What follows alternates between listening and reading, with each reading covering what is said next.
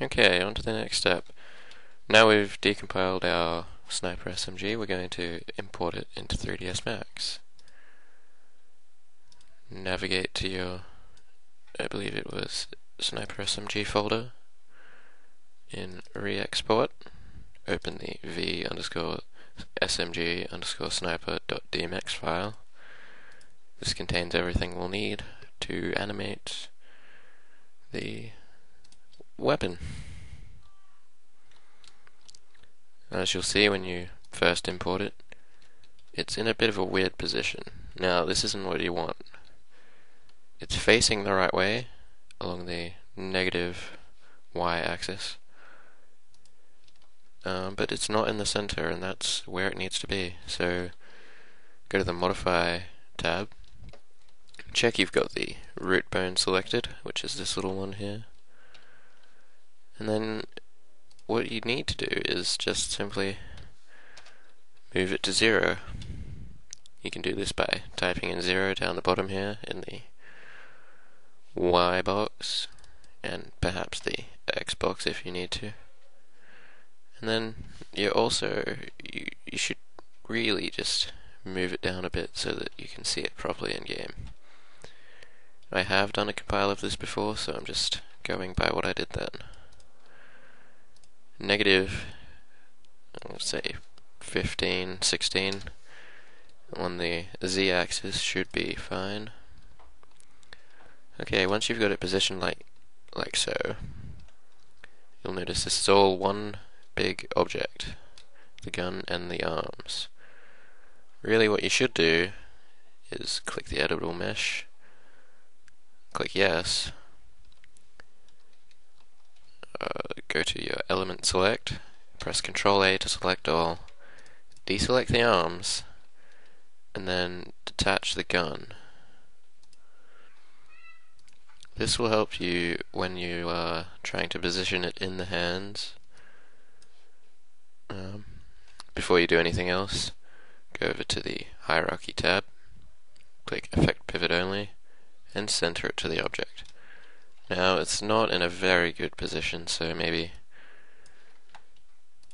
move it a bit, perhaps around there, and then just place it somewhere where you think the sniper would hold it effectively.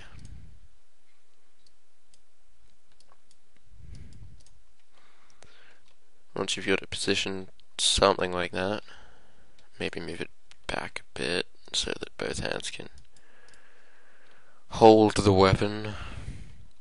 We're going to do a little bit of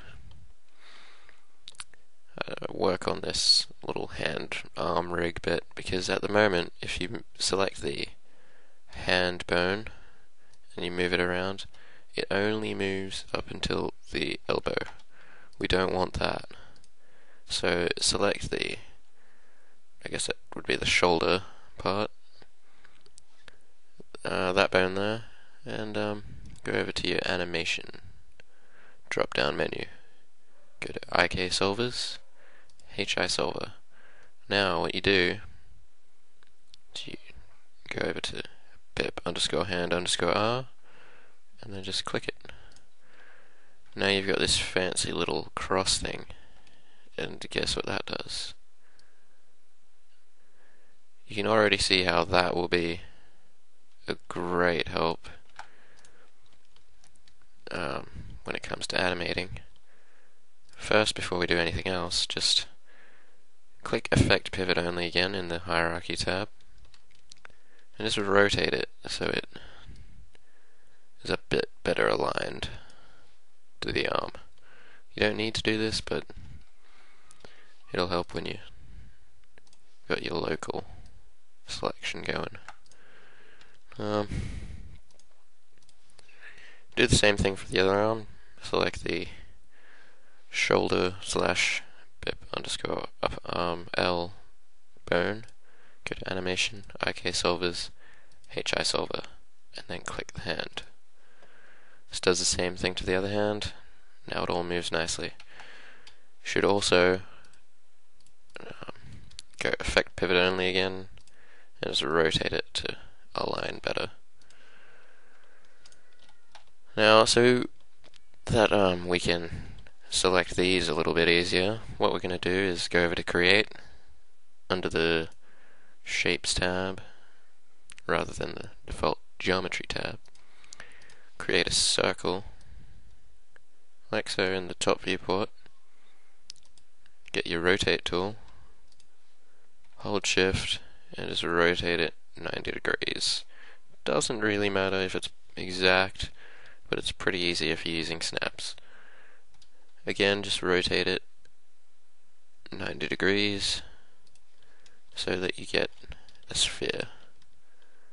Doesn't that look lovely?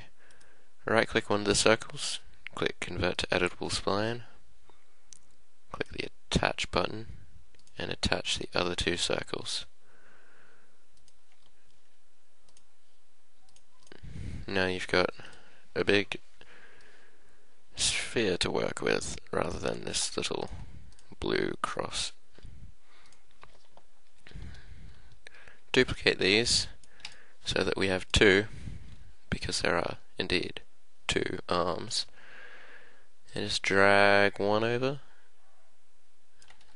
Maybe rotate it to align as well. Position it nicely. Do the same to the other rotate it. Make sure it's positioned correctly.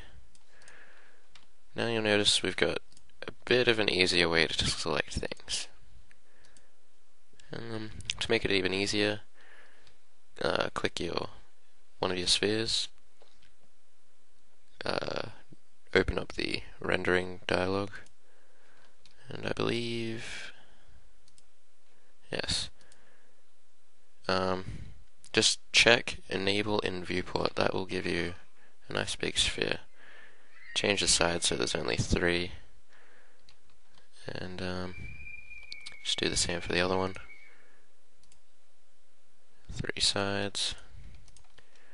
That makes it again even easier to select rather than looking for these little bones. Yeah. Um not quite done with these yet. Uh, up the top here there's a button that says select and link. It's a picture of a little chain. Click the crosshair type thing and just link it to the sphere we made. Do the same on the other arm, link it to the sphere. Now, instead of trying to find these little guys, you can just select these big spheres. That'll make things a little easier perhaps reduce your work a tad. Um, another important thing to note, you can go over to the motion tab when you've got a sphere selected. Notice when you're moving the arm, it bends downward. Um, I may be in the wrong place here. Ah, select the crosshair, the uh, little lines that we received earlier. And I believe we should be able to. Ah, yes. There's a little uh, dialog here. IK solver properties. Under that, uh, there's a property you can edit. It's called swivel angle. This is also helpful if you want to Perhaps have him bend his arm in a different direction. Notice how it's bending in a different direction. You can change this whenever you like during animating. But I'm not sure it may cause some problems if you do it too many times in the wrong way. Uh, I'm not sure how long this video is going for, but I've got to keep it under 10 minutes. Okay, yep, I'm up to 9 minutes, so I'm just going to cut this one off here, and then resume uh, right off.